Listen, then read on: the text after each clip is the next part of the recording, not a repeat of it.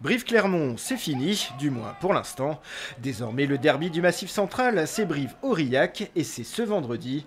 Un match toujours à part, surtout vu de la capitale du Cantal ils ont deux objectifs dans l'année, c'est faire le meilleur résultat possible en championnat en termes de position. Et puis le deuxième objectif, c'est de gagner à Brive. Donc si tu veux, euh, on sait qu'ils vont venir très, très motivés, très revanchards par rapport à leur euh, contre-performance de la, semaine dernière. Jeremy Davidson a entraîné le stade Aurillacois pendant six ans.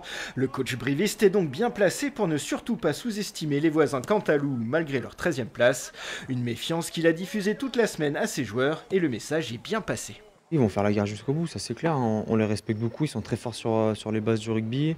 Euh, ils ont une très grosse mêlée, ils sont très bons sur les ballons portés. Mais rien d'inabordable pour des brivistes qui doivent faire fructifier leur première victoire à l'extérieur de la saison. Le CAB a deux matchs consécutifs à domicile pour s'installer définitivement dans le haut du classement.